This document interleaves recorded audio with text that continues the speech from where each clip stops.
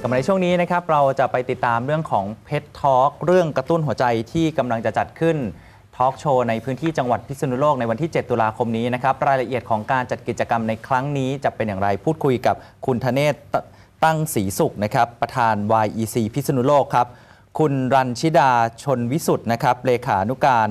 YEC พิษณุโลก แล้วก็คุณกนกนาฏลิขิตภัยวันครับ กรรมการ YEC สวัสดีทั้ง 3 ท่านครับครับ สวัสดีครับ สวัสดีครับเอ๊ะ PED Talks การทอล์กโชว์เรื่องกระตุ้นหัวใจ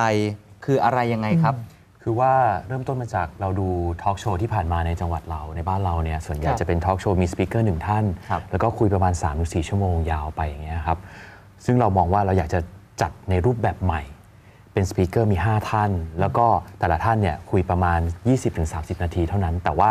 เนื้อหาที่คุยเนี่ยเป็นประเด็นทุกคำที่พูดออกมาจะเป็นคำที่สะกิดใจ แล้วก็กระตุกความคิดจริงๆครับแล้วก็มีการทำสคริปต์ มีการทำ production แสงเสียง แล้วก็มีทางการทำออกบูธอะไรต่าง ๆ นะครับ ซึ่งน่าสนใจครับ เราก็เลยคิดว่าเออเราอยากจะจัดทางหอการค้า ร่วมกับ YEC พิษณุโลกอะอยากจะจัดเป็นทอล์กโชว์ขึ้นมา ซึ่งทอล์กโชว์เนี่ยเราใช้ชื่อว่า PED Talks เรื่องกระตุ้นหัวใจ 5 เรื่องราวกระตุกความคิด เพื่อการปรับมุมมอง ครับ การเปลี่ยนแปลงการกระทำแล้วก็นำไปสู่สิ่งที่ดีกว่าครับ พูดถึงทอล์กโชว์เนี่ยถ้าถ้าพูดให้นึกภาพใหญ่ ๆ แล้วก็เห็นภาพคือเหมือนเดี่ยวไมโครโฟนอะไรแบบนี้ที่เราดูอย่างนั้นไหมฮะ คล้ายๆ คล้ายๆ คล้ายๆเราจะมี production ของฉาก แสงเสียงด้วย แล้วก็ในงานเนี่ยก็จะมีเซอร์ไพรส์ของแต่ละช่วงด้วย ครับ ซึ่งเราจะไม่บอก ครับ ครับที่บอกว่ามี 5 เรื่องราวเนี่ยก็คือมาจาก 5 คนใช่ครับไหมภาพแล้วแล้วในในการที่เราคัดเลือกเรื่องราวต่างๆครับเรามีการคัดมาจากอะไรบ้างครับคืออันดับแรกก่อนเราดูก่อนว่าเราเราตั้งเป้าหมายว่าเราอยากจะได้ 5 อาชีพก่อนอืมเพราะเราอยากได้มุมมองจาก 5 คน5 5 5มุมมองที่แตกต่างกันจริงๆอะครับแล้วก็เราดูว่าแต่ละท่านเนี่ยเรามีลิสต์มาอุ้ยเกือบ 50 ท่านนะครับกว่าเราจะเหลือ 5 ท่านนี้ครับเราก็ดูว่าแต่ละคนเนี่ยต้องมี การประสบความสำเร็จพอสมควร ต้องมีเรื่องราวมีมุมมองที่น่าสนใจ แล้วก็อยากจะนำเสนอให้กับผู้ฟังจริงๆ ครับๆเราก็เลยเลือกมาเป็น 5 ท่านเป็นครับ5ท่านครับที่เราผมคัดเลือกเข้ามาแล้วก็คือเป็นจาก 5 กลุ่มอาชีพเลยที่แตกต่างกันเลย ใช่ครับ ที่แตกต่างกันใช่ไหมครับ 5 มุมมองเลยครับราะฉะนั้นถ้าเกิดคนที่เข้ามารับชมเนี่ยคือ ก็คือจะเข้าถึงได้คนทุกเพศทุกวัยเลย ใช่ไหมครับครับ โดยที่ท่านแรกเนี่ยจะเป็นของคุณปู เจ้าของชาบูอินดี้ไม่รู้รู้จักชาบูอินดี้ไหมครัรับผม ชาบูอินดี้เนี่ยเป็นชาบูที่เพิ่งเกิดประมาณ 2-3 ปีเท่านั้นแต่ตอนนี้มี 170 สาขาอืมมูลค่าธุรกิจอะ2,000 ล้าน ครับ ครับผมเดี๋ยวให้น้องเติ้ลลองอธิบายเกี่ยวกับคุณปูนิดนึง ซึ่งคุณปูนะคะเอ่อเป็นคนจังหวัดพิษณุโลกโดยแท้นะคะแล้วแล้วก็ประสบความสำเร็จมาก คือตอนแรกคือเปิดสาขาแรกที่โคราช แล้วก็ประสบความสำเร็จแล้วอยากกลับมาอยู่บ้านตัวเอง ครับ ก็เลยนำธุรกิจเนี้ยมาเปิดที่บ้านตัวเองแล้ว ประสบความสำเร็จคือจากตอนแรกก็ล้มเหลวเหมือนกันนะคะลูกค้าติว่าไม่อร่อยบ้างอะไรบ้าง ก็ปรับปรับปรับจนจนมีทุกวันนี้ 170 สาขาทั่วประเทศไทยค่ะ เนี่ยนะฮะที่เห็นในภาพนี่คือเจ้าของชาบูอินดี้ที่เราไปที่ไหนก็เห็นนะฮะอ่ามีมีเกือบทุกจังหวัดใช่เป็นครับคนใช่ค่ะพิษณุโลกเองเลยใช่ไหมใช่ค่ะ เป็นคนวังทองครับ ครับ เห็นบอกตอนแรกนี่ก็ไม่ไม่ได้ประสบความสำเร็จนะฮะเป็นสาวเชียร์เบียร์แล้วก็ก้าวขึ้นมาจนเป็น เจ้าของใช่ชาบูค่ะอินดี้ครับใช่ค่ะ โอ้โหตรงนี้น่าจะได้อะไรเยอะนะฮะใช่ค่ะจากการพูดของเธอ ก็อยากอยากอยากจะให้คนพิษณุโลกเข้ามาเข้ามาฟังเรื่องเรื่องของเรื่องราวของคนพิษณุโลกด้วยกัน ที่อาจจะเป็นแนวทางในการดำเนินชีวิตดำเนินอาชีพต่อไปอะค่ะ ครับ แล้วก็อีกท่านหนึ่งนะคะเป็นพี่โอ Wedding Studio อะค่ะ ครับ ก็พี่โอก็ก็บ้านจนเนี่ยแหละค่ะ แล้วก็ชอบศิลปะ ชอบงานศิลปะ ครับ ก็ไปเรียนศิลปะ แล้วก็ตอนแรกก็เป็นตากล้องของร้านเวดดิ้งก่อน แล้วจังหวะที่ว่าช่างแต่งหน้าร้านนั้นไม่มา พี่โอก็ด้วยความที่เก่งศิลปะอยู่แล้ว ก็เลยได้ได้มีโอกาสแต่งหน้าลองแต่งหน้า จนทุกวันนี้ก็แบบประสบความสำเร็จ มีชื่อเสียงมากนะครับ ใช่ทราบข่าวว่าอย่างอ่าคู่ไหนจะแต่งงานเนี่ยโหจองคิวกันเป็นปีๆเลยใช่นะครับกว่าค่ะจะได้คิวในการแต่งหน้าทำผมอะไรต่างๆ ใช่นรับค่ะ เป็นเบื้องหลังสุปตาเยอะแยะเลยค่ะเช่นล่าสุดก็เพิ่งเปิด อืม wedding studio แห่งใหม่แล้วก็ใหญ่มากที่กลางเมืองเลยครับแล้วก็ดาราที่พี่โอเคยแต่งก็อย่างเช่นเบลล่ารานีนะครับพิงกี้หรือว่าน้องปันปันต่อฮอร์โมน หรือล่าสุดก็จะเป็นน้ำตาลชลิตาส่วนเสน่ห์ที่เป็นมิส s ท h a i l a n d Universe ครับผมก็นี่ก็คือพี่โอได้ไปแต่งมาทั้งหมดแล้ว ซึ่งพี่โอนี่ก็คือเป็นคนพื้นเพของพิษณุโลกใช่ครับใช่เป็นคนค่ะวังทองเหมือนกันอ๋อครับพี่โอนี่น่าสนใจมากสมัยก่อนนะแกเป็นกรรมกรนะครับครับผมแกเป็นลูกของกรรมกรแล้วแกก็ไปช่วยคุณแม่นะครับแล้วก็คุณพ่อคุณแม่ไม่ได้อยู่ด้วยกัน มี เรื่องราวมากมายในชีวิตที่น่าสนใจมาก ๆ แล้วก็อยากจะให้ทุกคนเนี่ยไปฟังนี่ท่านที่สองนะฮะโอ้โหน่าสนใจมากเลยนะครับ แตกต่างเรื่องของสาขาอาชีพใช่พื้นเพที่มาเนี่ยก็ลำบากเหมือนกันอ่านะฮะแล้วก็กลับมาประสบความสำเร็จอย่างที่สุดนะฮะใช่ครับ ท่านที่สามเป็นใครครับ ค่ะท่านที่3นี่เป็นอาจารย์คนึงนิดนะคะ นาสมใจ ซึ่งอาจารย์เนี่ยแม้จะไม่ใช่คนพิษณุโลกโดยกำเนิดนะคะ แต่ว่ากว่า 30 ปีที่อาจารย์นะคะ ได้ย้ายมาสอนในจังหวัดพิษณุโลกนี้นะคะ ก็ทำให้อาจารย์เนี่ยแทบจะเป็นคนพิษณุโลกแล้วครัใช่บผม ค่ะ จากที่เคยมีความสุขสนุกสนานกับการที่ได้สอนนักเรียนนะคะ แล้วก็ได้แบ่งปันความรู้แบ่งปันความสุขให้กับชาวพิษณุโลด้วยการที่ไปเป็นพิธีกรเออไปเป็นวิทยากรบรรยายในเรือนจำหรือว่าบรรยายให้กับผู้เฒ่าผู้แก่ต่างๆนะคะ แต่วันหนึ่งพอรู้ว่าต้องเป็นมะเร็งครับ คนที่หมอบอกว่าอีก 6 เดือนจะมีชีวิตอยู่ได้เนี่ยมีแรงจูงใจอะไรให้อาจารสู้กับโรค แล้วก็ทุกวันนี้สามารถอยู่จาก 6 เดือนที่ว่าเนี่ยตอนนี้ 2 ปีกว่าแล้ว ที่จารย์ เผชิญโรคแล้วก็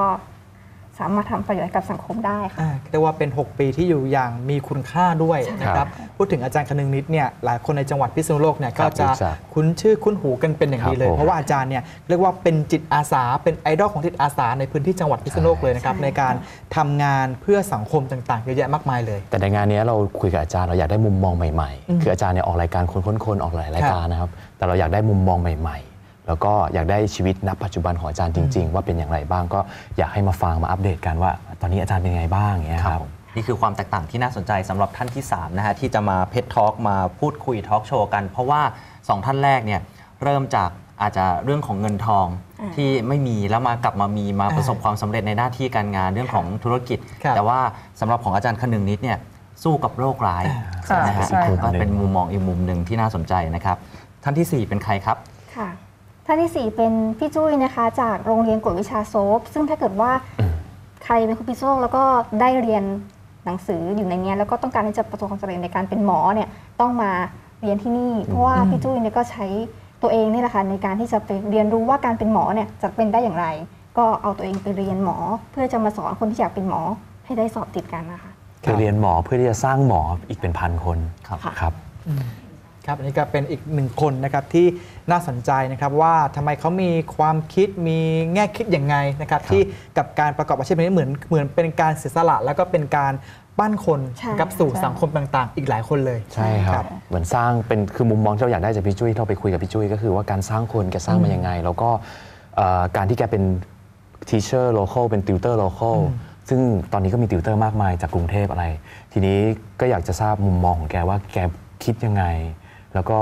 แกสร้างคนเนี่ยแกแต่แกต้องใช้อะไรบ้าง ซึ่งแกเสียสละมากๆ ครับ คอร์สทุกคอร์สแกสอนสดหมด แกจะไม่มีเปิดวิดีโอ เพราะฉะนั้นเนี่ยสิ่งที่แกอุทิศให้กับจังหวัดนี้จริง ๆ ให้กับ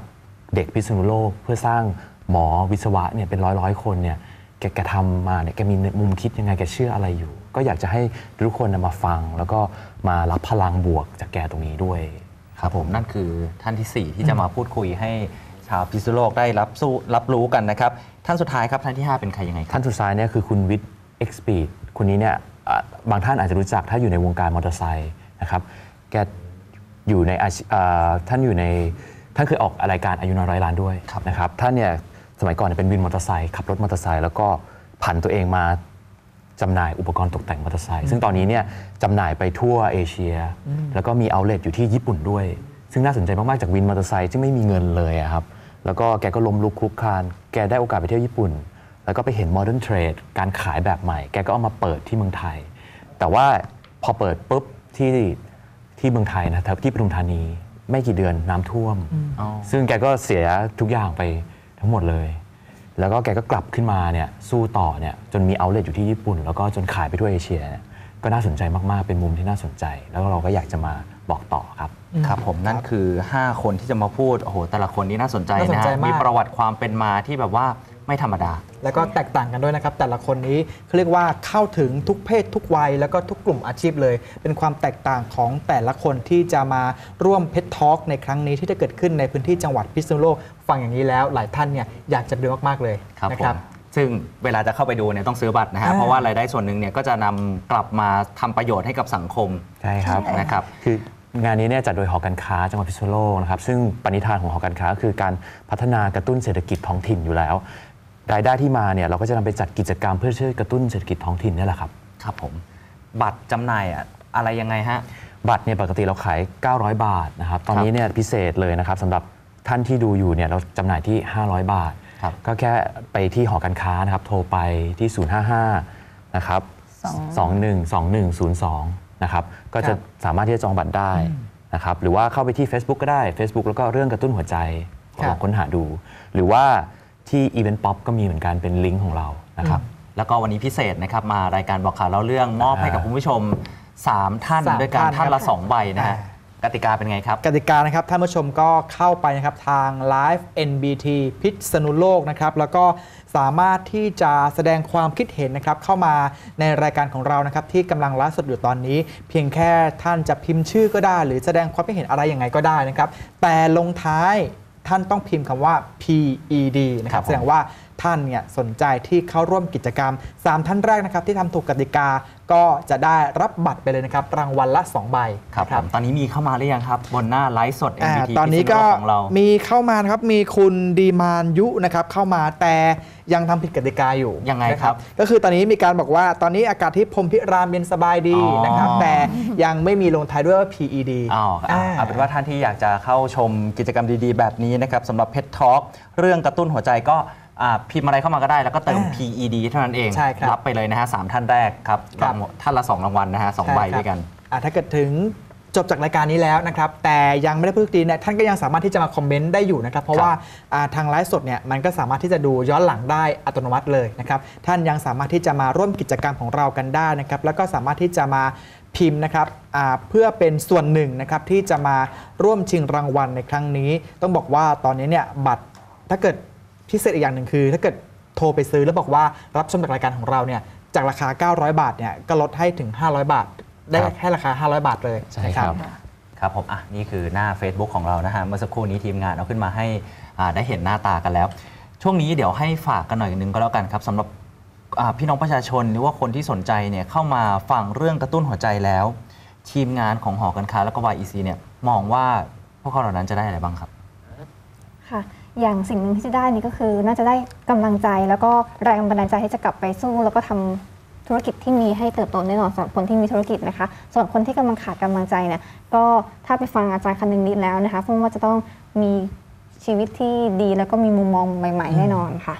ส่วนคนที่ทำธุรกิจเกี่ยวกับอาหารนะครับผมก็อยากไปฟังคุณปูชาบูอินดีซึ่งเติ้ลเนี่ยก็เป็นเจ้าของเย็นตาโฟลาตรี ก็ทำธุรกิจอาหารเช่นกัน ก็อยากจะให้